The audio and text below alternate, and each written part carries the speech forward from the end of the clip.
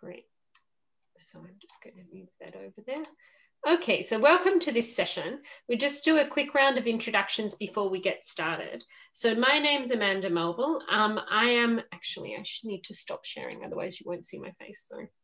Um, I am a senior child protection advisor for UNHCR, and um, we'll just ask if Natalie, if you could introduce yourself.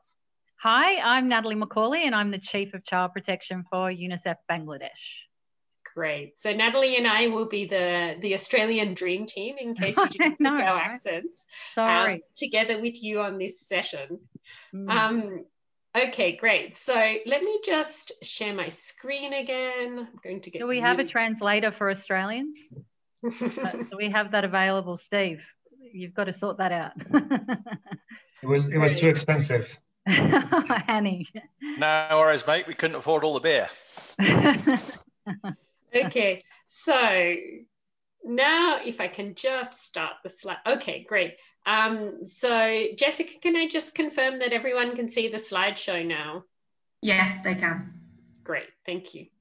Excellent. So I'm going to move this little, maybe I can get rid of that.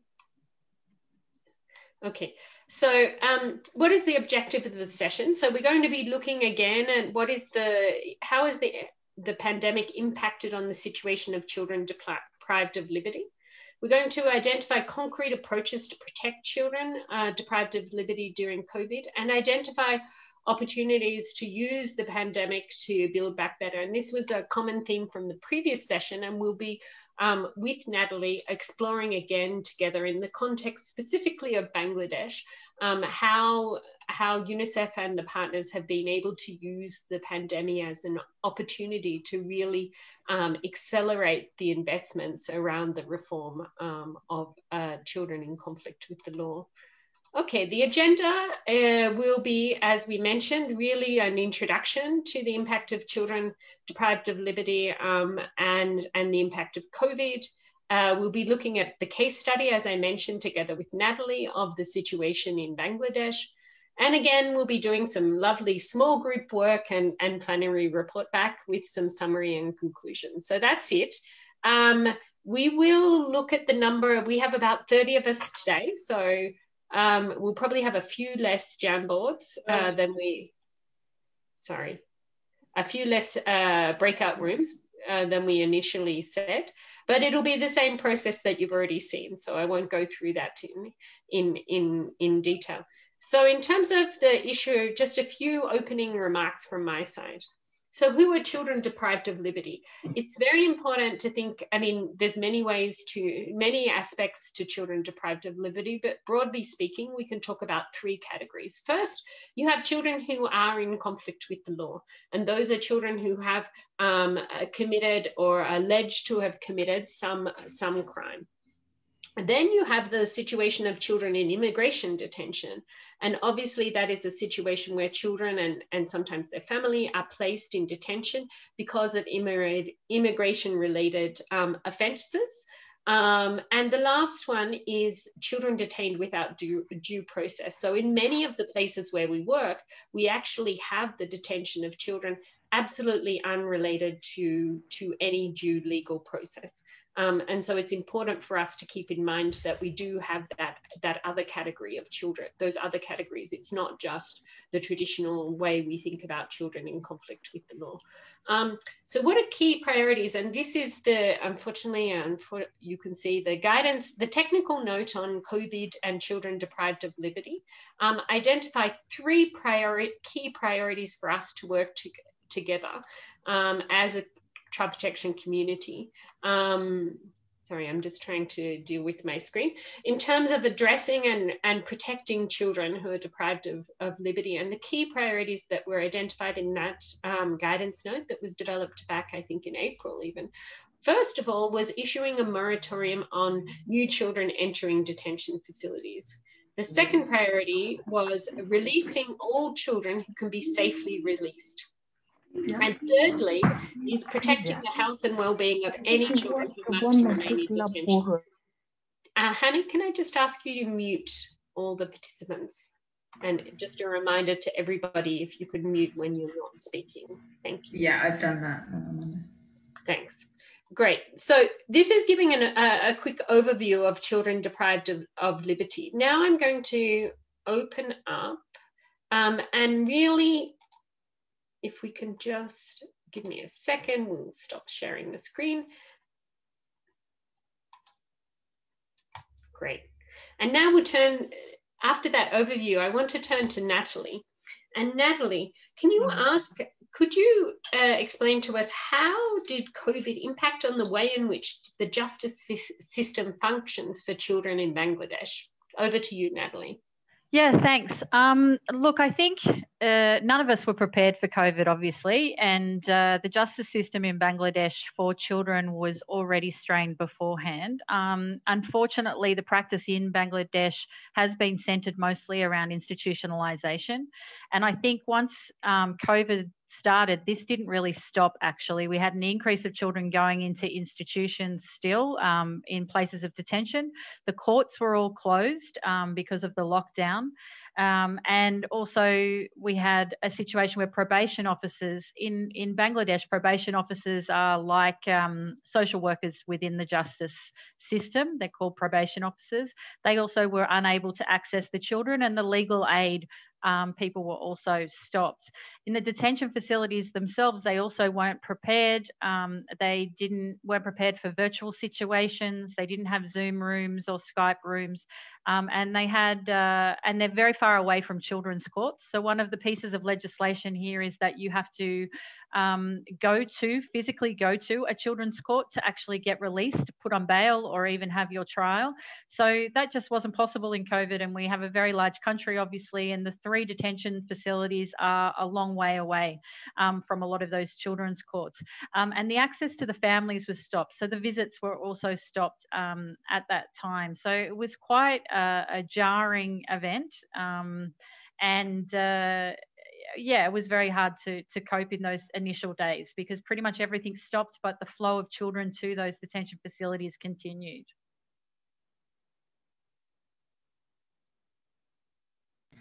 You're muted, Amanda. Sorry. Excellent. Thank you so much for that. That sounds like a really challenging situation to deal with, Natalie. Could you say a few words about how did you address this situation? How did you try to respond as UNICEF and the partners to address the challenges um, you you just articulated? Well, uh, immediately. Um, we started negotiations or started talking with um, the Supreme Court, and and we had a we have a committee on child rights with the Supreme Court here.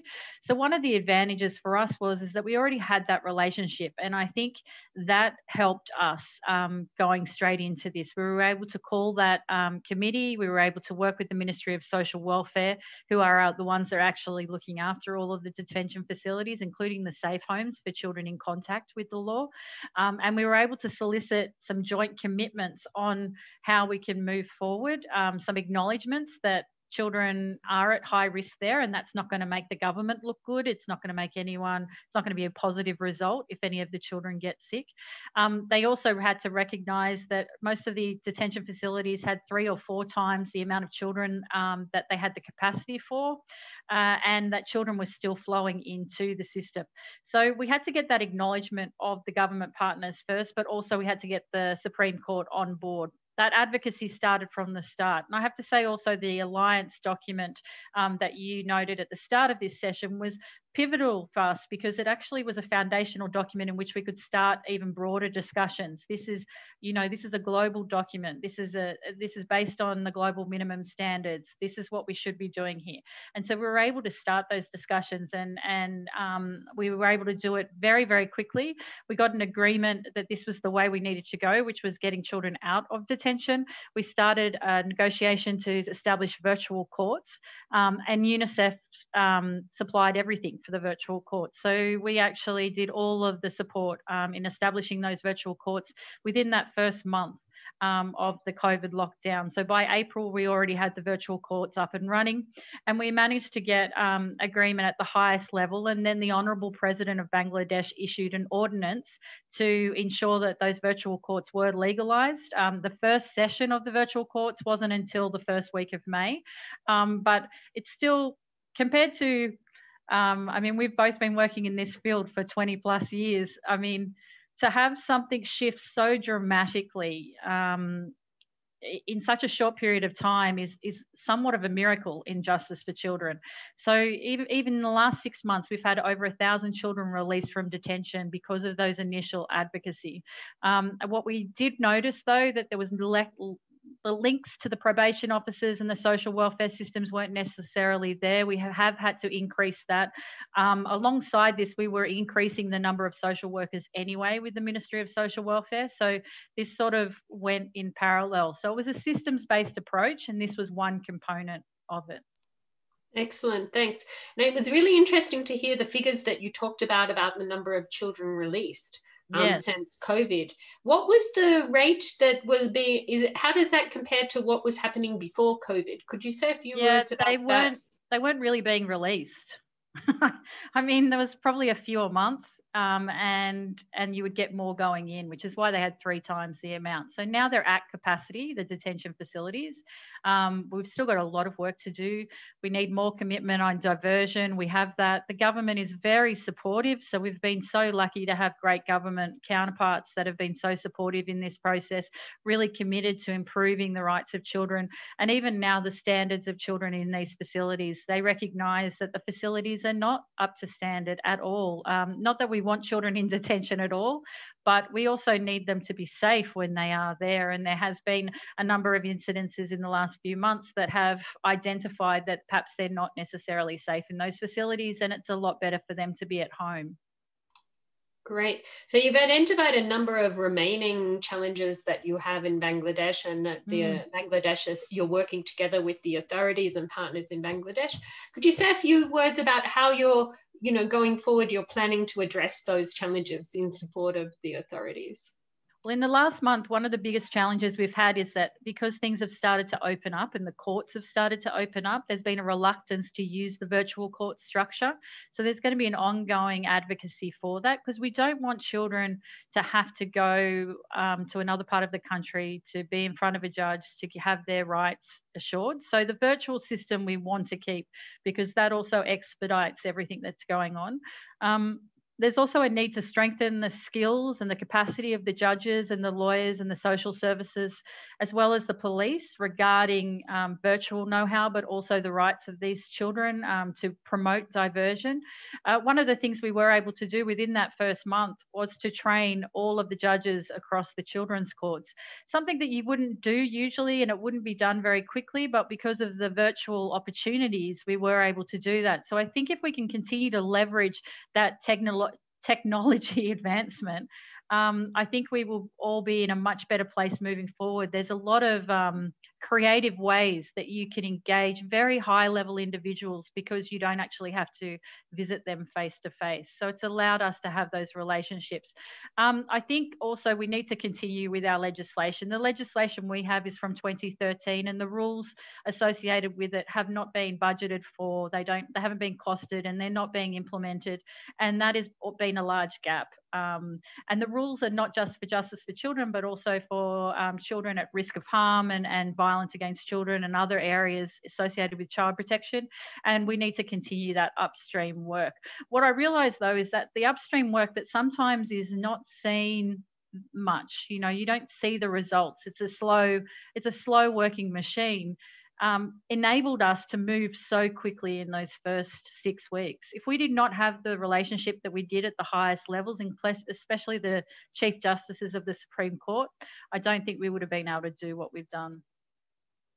Great. Well, thank you very much. I see a question, another question, and I think oh. we do have a few minutes. So if colleagues would like to post questions to Natalie um, in in the the chat box. So were one I see a question here. Were the virtual courses established by UNICEF used for adult cases as well?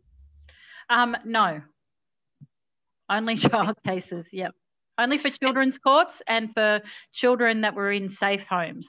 Um, but UNDP, after we established the virtual courts and we got the advocacy and the Prime Minister um, cleared the virtual courts, UNDP supported the adult court system having virtual courts. So adults were also released throughout this process as well. Okay, great. Another question I see from Alex. Have you seen more lenient sentencing with virtual courts than face to face, or were they simply far less courts than before? Well, a lot of the cases still are suspended. So it was mostly getting children out on bail or those that perhaps were on petty crimes to get the cases um, removed or reduced. So yeah, I guess in in that case, yes, because the whole purpose of it was to get children out of detention. So yes, but not not really in essence. It's still the same. Yeah. Okay, great. Now I see another question from Frida. Um, virtual courts have been leg- uh, legalized by the president. Uh, what would be the reason why the traditional courts would like to go back to face to face for children? Um, because that's just what they're used to. Uh, mm-hmm. and it's not, you know, they're, they're, these are very senior judges. Um, it was quite an interesting process where they'd be calling us at all hours on how to use Zoom, um, how to use the laptops, you know, how to plug things in and get things moving, how to scan documents, those sorts of things that so that they could still abide by the law and still use virtual um, courts. So it's still a learning process and um, some of them are fine with it, some of them are not. So we, we have to just keep advocating. And I, I think, you know, eventually it will be something that they just use normally. Yeah. Mm. They are, however, though, allowing kids to stay at the detention facility and access the court virtually, but the judge is just in session. Okay, very yep. interesting. Another yeah. question How did you deal with the issues of confidentiality, security, child friendly legal aid, record keeping, etc.? Yeah, so there was a whole process that was developed with the Supreme Court justices, um, and this included scanning of documents, um, secure uh, lines of communication, um, and courier services with with some of the documents. But mostly it was over scan situation, um, and they we had IT people work out um, how to do the security on the actual virtual court itself. Okay, great. Um, and I think a last question, does the virtual court also apply to Rohingya refugee camp or do you know the situation of Rohingya children in conflict with the law? Okay, so in the refugee camp, they don't actually have a formalised legal process, although they're meant to be under Bangladeshi law. So, but the camp coordinators um, are the ones that usually end up deciding what to do in a case, which we're also trying to advocate for uh, a, a, different system because, particularly for violence against women and children, they minimise and um, there's a there's an issue there for us, obviously.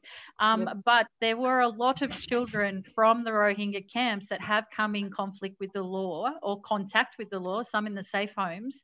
Um, outside of the camps in Cox's Bazar, district itself, um, and they were they were part of this virtual system, and a number of them have been now back home with their families in the camps. Okay, great. I mean, we do see that it's really important to to advocate for for equal access to yeah. these kind of core child protection services, including exactly. for refugees. So it's great to see that you're working together with the authorities to make progress in that area. Very yeah, important. and we have good partnership with UNHCR here, and and and they've been very supportive of this process too. Yeah. Excellent, thanks. Well, look, that was really fascinating, Natalie. Um, what we're going to do now is we're going to launch a Mentimeter. Um, so if I can just ask, uh, if I can just we all ask, love Mentimeters now. We love Mentimeters, right? This is the new way.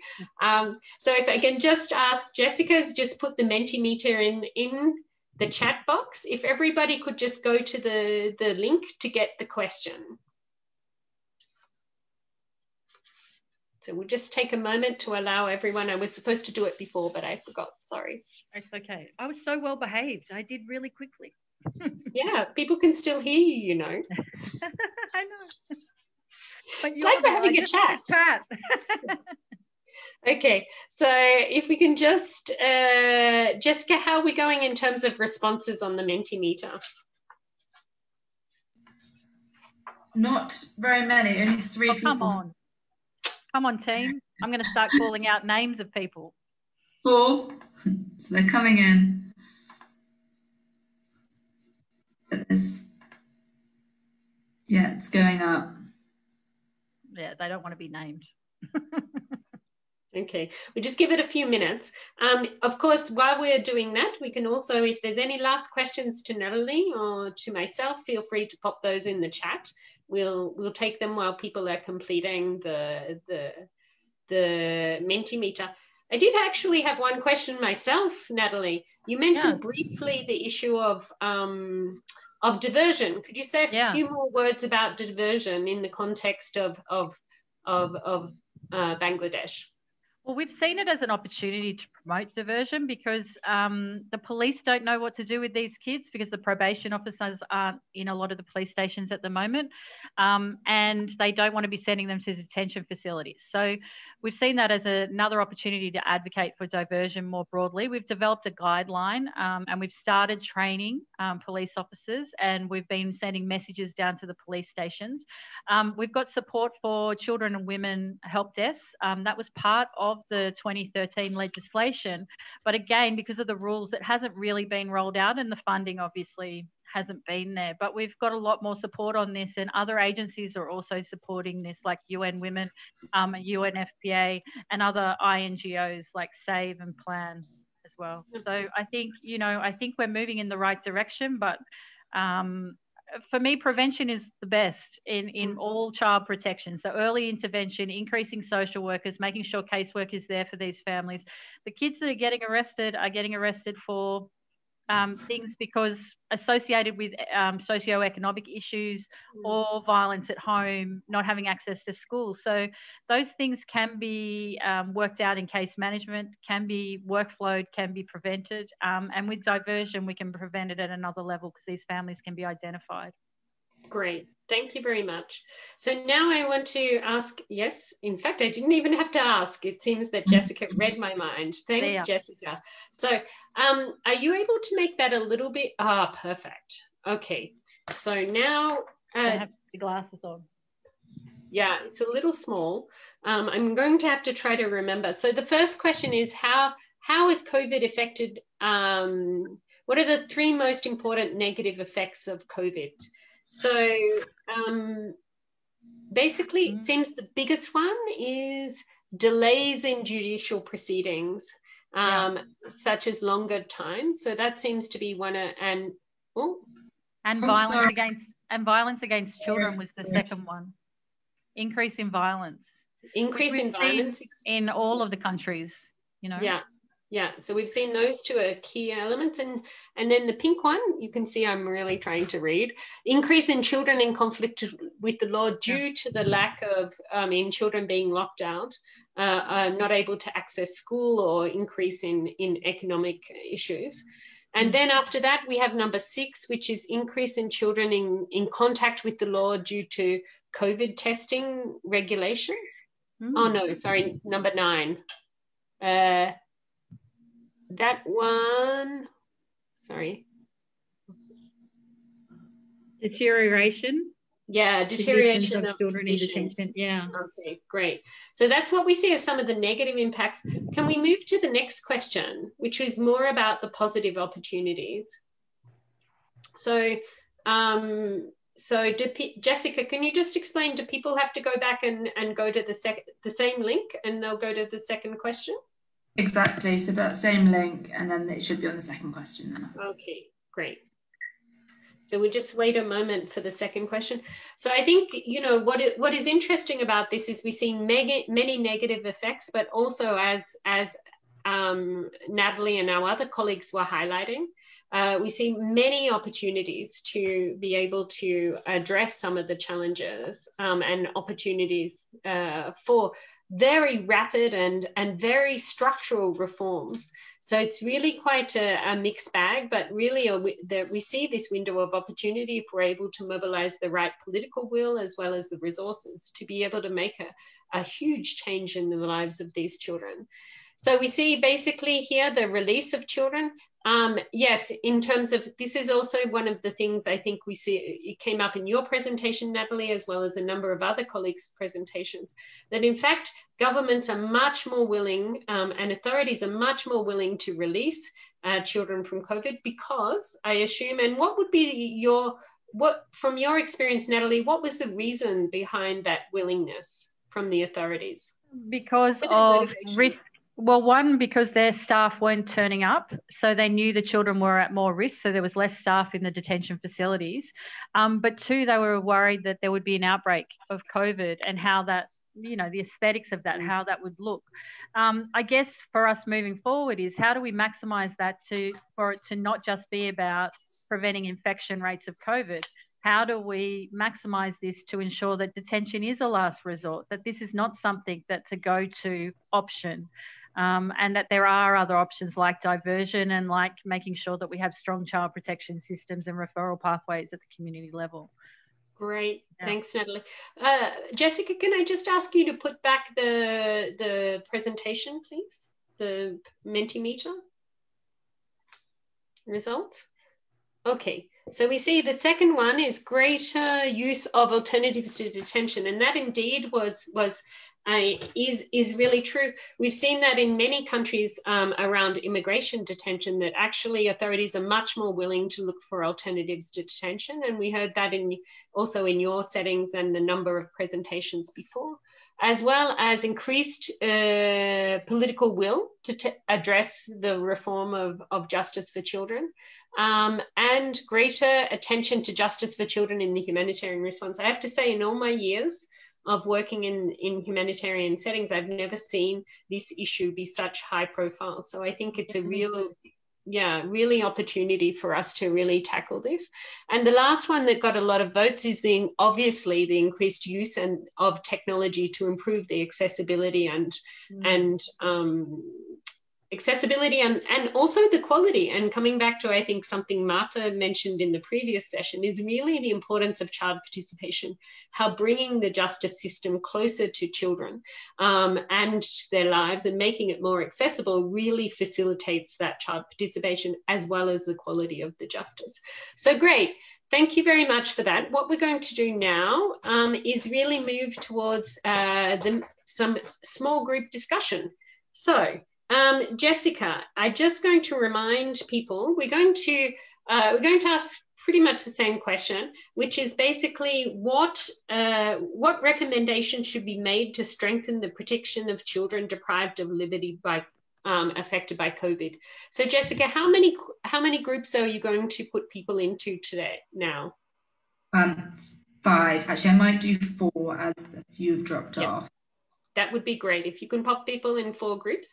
And then um, basically as per the previous ones if you can use the if you can use the um, the Jamboard and then we'll also ask you actually we'll share with you in the groups a mentimeter where you can actually put your your responses in mentimeter so that they'll be screening when we come back into the group. So great if you could move everyone now. Thanks jessica Right. It's okay. We can, can, I mean, let's see how we have 10 more minutes. So maybe yeah. we can see if colleagues we can we can do the update and then continue to use the time in in plenary because we're not so many if that's okay with everyone yeah okay great there was a there was a point about detention facilities that was just raised in our group and i think it would be good to to come back to that yeah because i think I, I, i've got a suggestion for that that may be a bit different to what they were thinking Okay, great. Um, okay, so let's, is everybody back uh, online? It looks like it. Jessica? 25. Yeah, okay, excellent. So, Jessica. Yes, they are, sorry. Yeah, so Natalie, if I can hand over you to you to have a look and and and make some reflections on some of the recommendations that are coming up, is it possible to make that a little bigger, Jessica? Because it's quite hard to read. And I'm old now. I've got to wear glasses. Uh, if you make it full screen, it's everybody. If you make I, it full screen, it's actually easier. Yeah, I think that's the best way. Or I can just zoom in. If does does that work? Yeah. Yeah and then I can move the bit around. Yeah, so same, Elisa, it's uh, Annalisa, sorry, it's the same uh, Mentimeter link as before if you want to add. So, uh, yeah, Jessica, uh, sorry, Jessica, I see uh, your name on it. Uh, so, uh, Natalie, if you'd just be able to maybe read through some of the recommendations yeah, I can see here that there's, um, and when you had it on the bigger screen as well. So Jessica, it's okay because I've got my big screen here and my little screen here. If you can put it back on, on yeah, big, perfect. Okay, so I can see that there was a couple of different ones that were talking about data analysis um, and looking at uh, children that are detained and what's the makeup of those children. I think that's a really important one, particularly in regards to looking at um, possible prevention um, options for us, but also divert them from the proper system. Um, there's also ensuring authorities do not use arbitrary um, procedures, um, making sure that we use the highest level of, of government to ensure pardons and that petty cases are expedited um, looking at individual case management, ensuring we increase individual case management, making sure we have strong relationships um, with uh, juvenile justice actors um, for us in Bangladesh to be at the highest level. Um, working on adaptation of the justice system, um, COVID context with state actors and non-state actors, ensuring that, uh, oh, I already did that one. I already did that one. Okay, so it just keeps flowing up. That's lovely.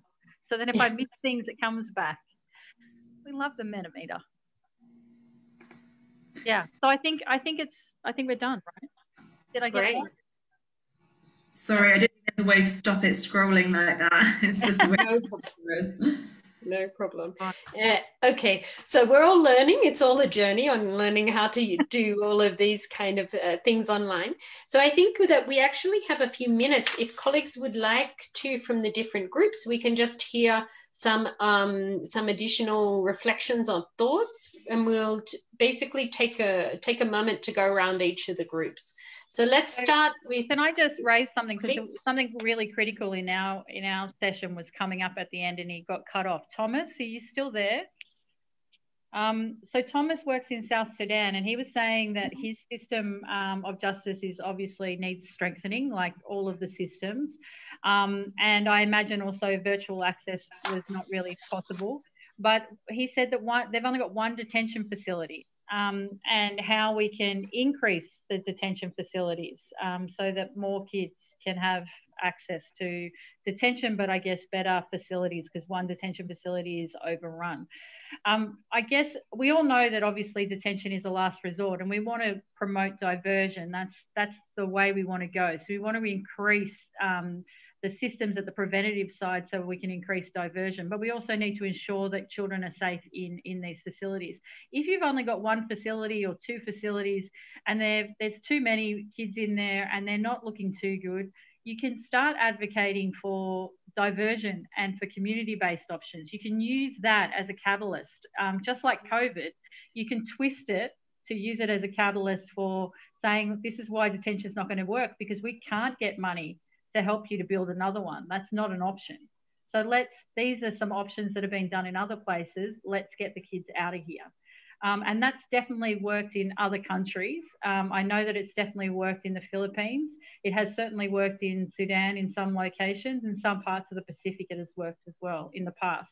But it's been a development approach rather than an emergency. Yeah.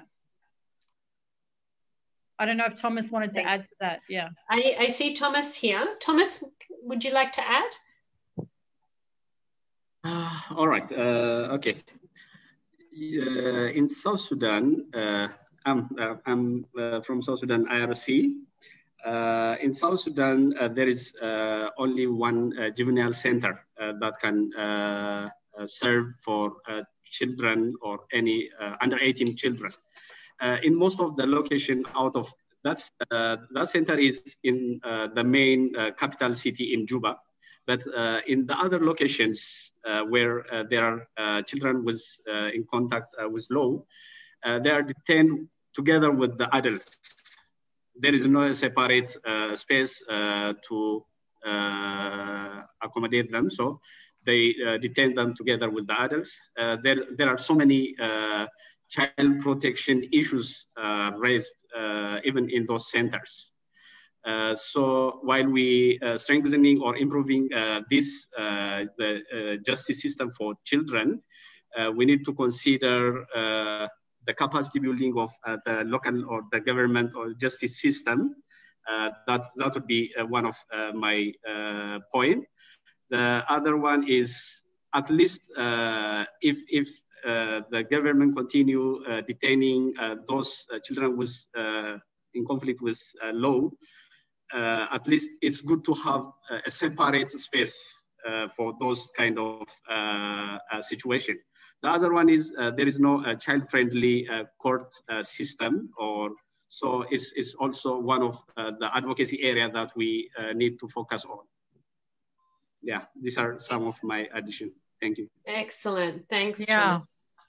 Excellent. I, I, think that's a good idea. Like focus on the capacity building at that local level and improving improving the facilities there. Yeah. Excellent. So now if I can just ask uh, anybody else from any of the other groups would like to volunteer to add. We have about three minutes um, before we need to make some concluding wrap up uh, statements. Uh, I see. Can I just please go ahead? Yeah, uh, in our group, we were also discussing to think something about uh, building capacity of the juvenile justice uh, authorities. Uh, maybe it is not necessary that all the, the, the competent authority, they know about the children's right and different contexts, it is different ideas.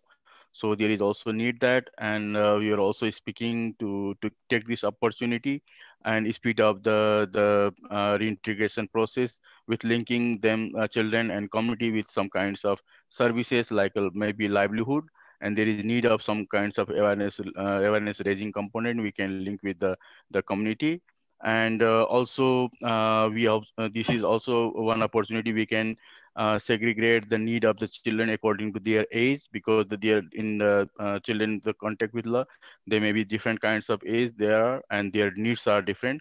So this is also one good opportunity if we can prioritize their their child protection need Excellent. Thank you so much for those thoughts. Um, any other colleagues who would like to add? And I'll just ask colleagues if there's anything that you feel that you discussed in your group that hasn't come up so far, if you'd just be able to, to put it, uh, you know, to add that. Anybody who would like to speak, feel free to put up your hands, open your mic. Hello. Hello. Hello. Please, Hello. Nabil. Okay, this is Nabil uh, from Ethiopia, UNICEF. Please go uh, ahead, Nabil. Okay, uh, some of the things that uh, we discuss in our group is that uh, mentioned by, by my colleague, but uh, I want to capitalize the discussion that we had mainly on the focusing on the authority capacity building in order to release children with different protection concern. And this is what we're currently doing in Ethiopia. Uh, like there was a discussion uh, going on with the justice system at the federal, starting from federal level to the regional level, at least to release children uh, with having protection concern, including uh, considering their age, uh, including pregnant girls, those who are a primary caregiver for their own and other children, and at the same time who have also suspected with a COVID-19 infection and at the same time uh, who have also doesn't do I mean any serious uh, uh, law violation uh, in the systems. Excellent. Thanks, Nabil, for those uh, those thoughts. And I just have we just have time for one more comment before we're going to have to wrap up. I've asked our, our producer Jessica, our fabulous producer, to give us two more minutes. But is there anyone else who who wants to add from their perspective some of the key recommendations? Just thirty just, seconds. Just to add, sorry, can I? Uh, thanks, Nabil. I just wanted to add that in our group, we also mentioned that maybe we need to document some of these good practices um, that have come up over the last few months. Because in the last in the last session, there was a number of really good practices. We've a lot of examples have come up across different countries um, out of our groups today. So I, I'm just putting that out there as a recommendation. Maybe we need to document some of some of the success stories on this area yeah because it's so rare in emergencies you know Indeed, that's a great idea, Natalie, and we'll have to take that forward together with her, bring it into the discussions of the small groups yeah. um, of the alliance. Excellent. Yeah. Okay, so now I think we'll we'll have to wrap up now. So I just want to give Natalie, if you could, in like you know, thirty seconds, highlight some of your key key concluding remarks. I know that you know it's always difficult because we've had such a rich discussion, and I will try yeah. to do the same from my side. Over to you, Natalie. Look, I think thanks everyone for your contributions, and I think even to the last session as well on justice for children, and thanks Amanda also for leading um, both sessions. Look, I think it's it's such an opportunity. Um, as we've both said, we haven't seen this much movement in this sector in emergencies before, um, and I think we can capitalise on that. It is an opportunity. We have seen a lot of successes, and it's about how do we take this now into a non-COVID world how do we take this success and make it um, apply when COVID isn't such a big issue? How can we make sure kids aren't going into detention? How can we make sure kids have access to social workers and caseworkers? And how can we make sure that we prevent them from coming in contact with the law? I felt like that was them buzzing me out. Yeah, that was that was well timed. Hey, thank you. Thank you. Thanks, Nat. Yeah, over. Great. Um, so yeah, just from my side, I wanted to highlight maybe if we could just uh, put me on on on screen, Jessica. I'm not sure if we we still see uh, Natalie on the screen, at least from my side, but just a few i opportunities Okay, great. So a few opportunities for reform that I think are really important that we've really see, seen from this. First of all, I mean, the digitization, as we've heard, the digitization has the opportunity to really improve the quality and the accessibility, but also the timeliness of, of justice for children and, and ensure that that is possibility the, the increased use of alternatives to detention for children in conflict with the law and the increased alignment that we're seeing in terms of um, ensuring that that detention is really a measure of last resort and diversion opportunities are really really um, highlighted. Of course, I wanted to highlight as UNHCR, we are very keen and we're very happy to see many of, uh, I mean, quite a lot of movement also around the issue of immigration detention. Um, and the fact that we have seen more and more countries really moving to away from immigration detention for children. Obviously, uh, collectively as child protection actors, it's really important that we advocate and continue to support authorities to really um, move towards as fast as possible ending the use of immigration detention in general, but particularly for children. So we've been very pleased as UNHCR to see a number of states um, doing that. And um, and really, I think that we really see this as an opportunity to invest more in justice for children, um, to facilitate uh, the reform, sustainable reform of the system, um, and really to provide, uh, really to, to support this effort that we've been working on together to ensure that, that really we are able to limit to the absolute um, minimum uh, the use of detention uh, for children in conflict with the law or for other reasons. Um, and so I'm going to just share, put up on the screen, we're about, oh, we're a few, quite a few minutes over, but I will put up on the screen, just remind all of you and put in the chat box that there are some great resources out there um, that you can refer to. And we look forward to seeing you in the next session. Thank you, everyone.